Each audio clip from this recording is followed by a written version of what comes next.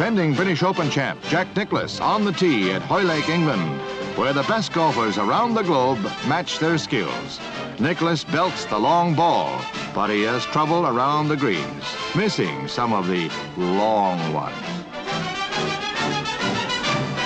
44-year-old Roberto de Vicenzo of Argentina, beloved by the British, leads in the final day of play. While galleries watch, his putting leaves little to be desired. A respectfully quiet crowd watches Nicklaus finish his round with a 10-foot birdie on 18. But elder Roberto brings a two-stroke lead to the 18th. He lags up a long one to within 18 inches of the cup. A hushed, hopeful gallery waits for de Vicenzo's victory putt to drop. He makes it, becoming the British Open champion after 10 attempts spread over 19 years.